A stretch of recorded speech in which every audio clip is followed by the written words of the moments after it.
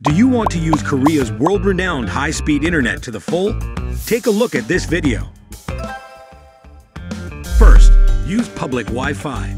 If you need to use the internet urgently on the move, you can use free Wi-Fi installed in public facilities such as bus stations, libraries, and subway stations.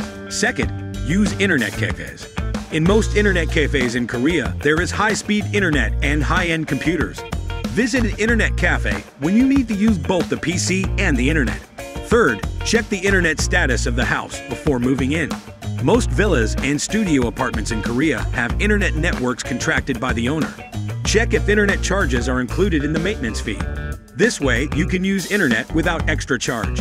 The public Wi-Fi app lets you find and use free Wi-Fi available around you.